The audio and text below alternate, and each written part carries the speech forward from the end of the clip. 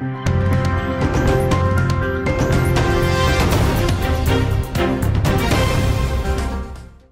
group chairman Shaik నవహీరాను CBCID అధికారులు తిరుపతిలో తొమ్మిది అదనపు కోర్టులో హాజరుపరిచారు. కోర్టుకు చేరుకున్న ఆమెను మద్దతుదారులు మీడియాను చూసి కన్నీరు మున్నీరయ్యారు.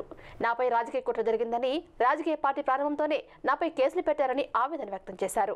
నా కంపెనీలో డిపాజిట్దారులు గత పదిహేను సంవత్సరాలుగా లబ్ధి పొందుతున్నారని ఇప్పుడు నా కాళ్ళు చేతులు కట్టేసి ఇప్పుడు డిపాజిట్దారులకు చెల్లించమంటే ఎలా అని ప్రశ్నించారు. నగలపైన అధిక మొత్తంలో లోన్ ఇచ్చామని కాబట్టి మా కంపెనీ వాళ్ళు ఎవరూ నష్టపోరని నహిరా ధీమా వ్యక్తం చేశారు.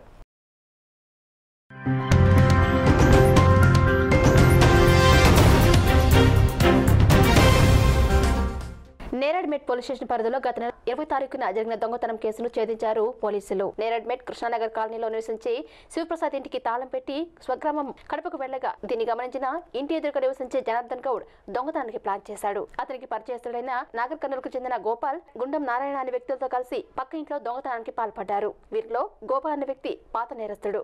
ఇతరుపై మర్డర్ కేసుతో పాటు నగరంలో పలు దొంగతనాలకు పాల్పడ్డాడు. వీరు ముగ్గురు కలిసి గత నెల ఇరవైన నేరడ్మెట్లో దొంగతనానికి పాల్పడ్డారు. కేసును దర్యాప్తు చేసిన నేరడ్మెట్ పోలీసులు ఈ రోజు నిందితులను అరెస్ట్ చేసి వారి వద్ద ఒక స్కూటీ వజ్ర పొంగరం కొంత నగదు స్వాధీనం చేసుకున్నారు. వీటి విలువ సుమారు ఆరు లక్షలు ఉంటుందని అంచనా వేస్తున్నారు. ఇంటికి తాళం వేసి ఊరికి వెళ్ళే వాళ్ళు పోలీస్ స్టేషన్లో సమాచారం అందించాలని తద్వారా ఆయా ప్రాంతాల్లో ఉండే పెట్రోలింగ్ నిర్వహిస్తామని మల్కాజిగిరి డీసీపీ ఉమామహేశ్వర్ శర్మ తెలిపారు.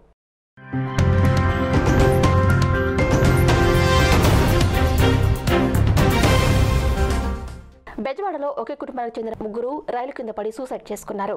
రాయవెల్లికి చెందిన క్యాబ్ డ్రైవర్ ధనశేఖర్ కుమార్తె పెద్దనాన్న విజయవాడలో రైలు కింద మూకుమ్మడిగా ఆత్మహత్య చేసుకున్నారు. ఆత్మహత్య చేసుకున్న వారిలో జయంతి మహాలక్ష్మి శ్రీలక్ష్మి గోపాలకృష్ణన్గా పోలీసులు గుర్తించారు. విజయవాడలో రైలు కింద ఆత్మహత్య చేసుకున్న కేసులో రైల్వే పోలీసులు విచారణ చేపట్టారు.